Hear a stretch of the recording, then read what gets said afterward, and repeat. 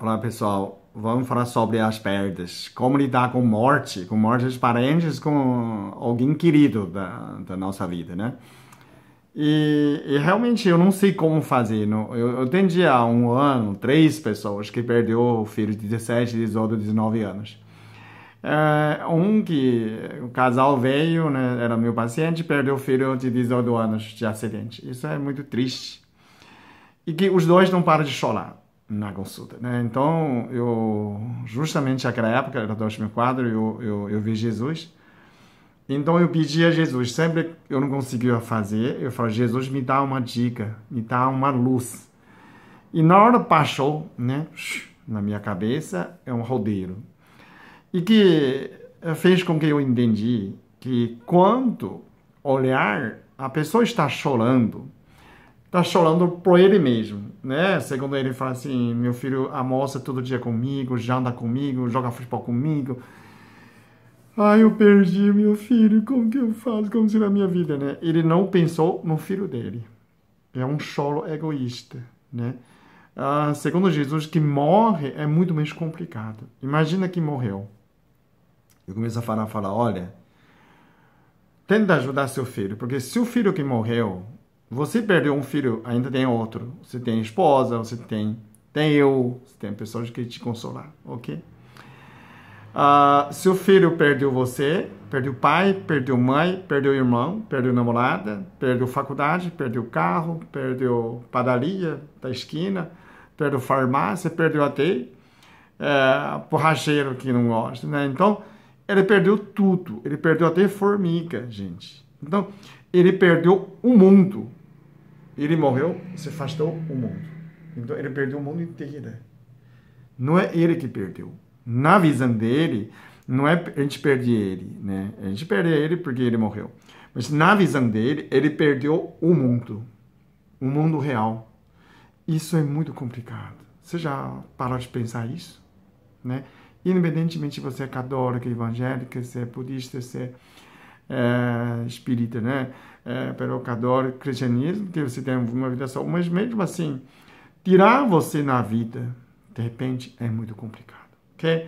Então, quem está sofrendo é quem morre, não é quem está sobre. Só porque ele morreu de acidente. Se duas pessoas morreram de acidente, né? Então, esse acidente é de repente. Ele não planejou, ele não suscitou, ele não quis morrer, ok? Então, a primeira coisa que é, Jesus me, me, me, passou essa mensagem é que eles precisam fazer bastante oração para acalmar é, essa alma, porque que morre fica desesperada, fica enlouquecida, não aceita jamais essa situação. Alguém tirou você na vida. E como você tirou você da vida, colocou você na freezer, um gelo, ok? Então, é, como que recupera essa consciência dessa alma? Como que é orações, né?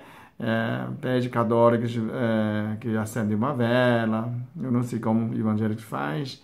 O budismo também acende uma vela. O espiritismo acende uma vela na igreja para essa alma, né? Para a alma seguir a caminho de luz. E que você precisa fazer uma oração, né? Para tanto ser seu filho, sua mãe, seu pai, seu irmão. Então, é, é muito importante ter a aceitação, ok? Quando você aceita, é, que morre como recebe uma certidão negativa de que você aprovou, todos os parentes, principalmente da família, né, precisa fazer oração.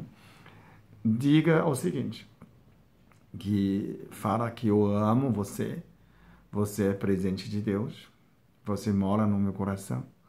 Jamais separar que mora no coração, não é? E eu aceito sua morte, né?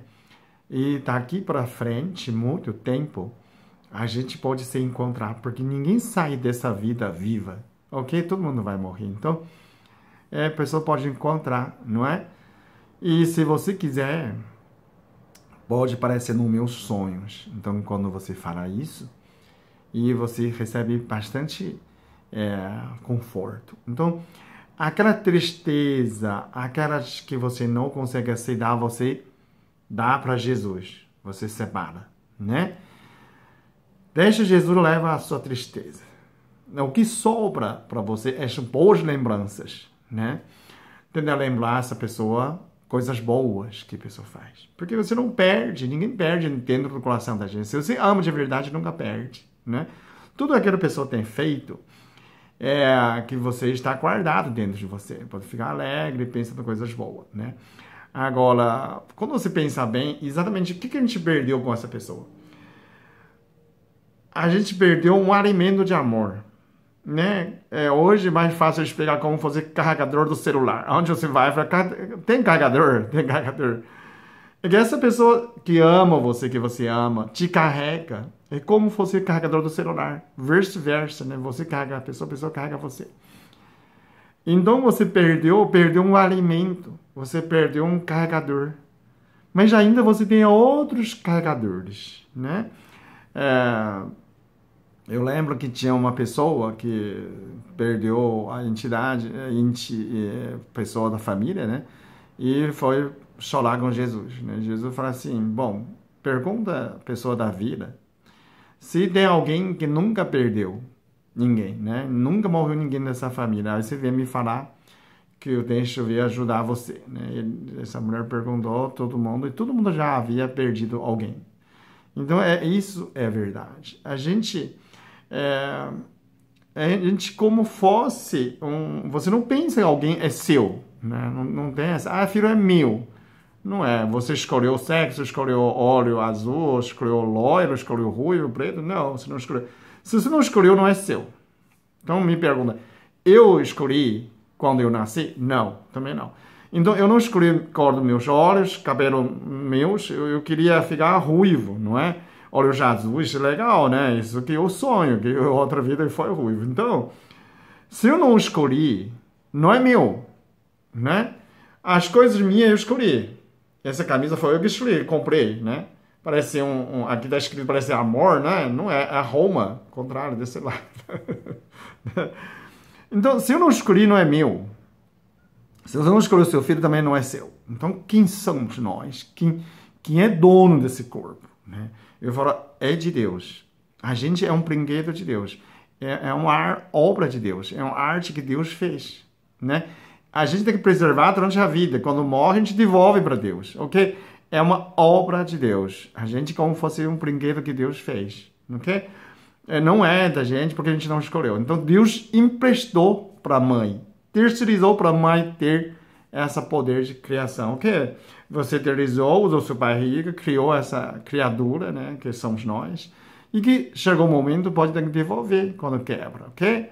Então, quando você pensa assim, eu acho mais fácil quando você faz orações para aceitação, quando você aceita a morte e as pessoas é, que morrem, como você recebesse uma certificado de certidão negativa que não teve mais nada, não estou fugindo, não morri porque é, acabou a missão ou por acidente, ok? Então, quando você aceita a aceitação, isso fica mais fácil. E deixa, todo mundo já sofreu, né? Todo mundo, todo mundo, todo ser humano que nasce porque tem alguém morre, né? E todo mundo já sofreu disso. Não tem ninguém é, que não sofreu com a perda. Então, todo mundo vai aprender essa lição de, de perda, né? perde alguém. Então, isso é sem exceção. Então, bom que você aprende, né? Lidar com a morte. Morte que você devolver para Deus, não é? Devolver essa, essa obra para Deus. Quando você aceita isso, é mais fácil de aceitar, porque não é seu. Quando você acha, esse é meu, esse corpo é meu, essa vida é minha, minha, né? É mais difícil. Quando você aceita que Deus fez você, emprestou para a sua família, e agora devolveu. Então, assim mais fácil, então, tendo lembrar coisas boas, ok?